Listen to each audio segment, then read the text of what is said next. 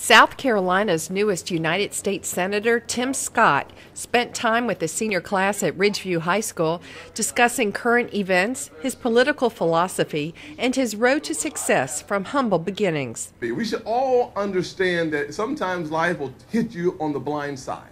It will change where you think you're going. But if you hold on to a truth, you have an opportunity to exceed what it is you think is possible. He encouraged students to dream big and work hard to make their dreams come true.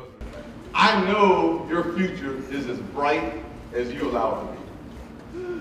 I know that. Because I have seen the worst of times and I have seen better times.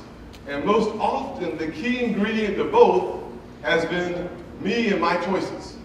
So I'm going to suggest to you that the future that you want is available. Now, it may not work out perfectly, but it will work out better than you imagine most often if you believe it's possible.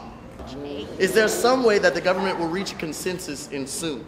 The students weren't shy about asking him questions related to gun control, minimum wage, if he wanted to run for president, and the differences between Republicans and Democrats.